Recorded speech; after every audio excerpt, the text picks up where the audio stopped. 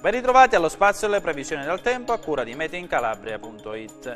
L'ondata di caldo che sta interessando la penisola iberica non accenna a diminuire, anzi nelle prossime ore è previsto un ulteriore aumento. In molte località spagnole si raggiungeranno valori vicino o superiori ai 40 gradi mentre sulla nostra regione, come ampiamente descritto nelle puntate precedenti, trovandosi sul bordo orientale di questo vasto campo anticiclonico che abbraccia l'Europa centro-occidentale, gli effetti di questa ondata sono di minore intensità e durata. Infatti, già da domani, un'infiltrazione di aria più fredda in quota favorirà la formazione di nuvolosità di tipo cumuliforme con possibili piogge che potrebbero interessare Pollino e Altipiano Silano. Invece dalla giornata di sabato inizierà un calo delle temperature che si avvertirà maggiormente tra le giornate di domenica e lunedì.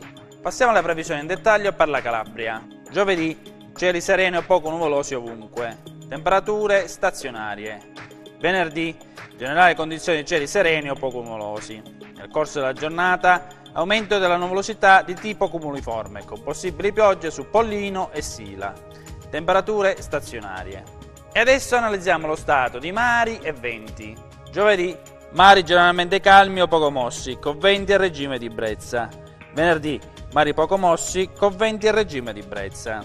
Ed infine, prima di salutarci, vi ricordo che oltre al nostro sito web www.meteincalabria.it potrete seguirci sulla nostra pagina Facebook Mete in Calabria. Per la puntata odierna è tutto, grazie, arrivederci al prossimo appuntamento.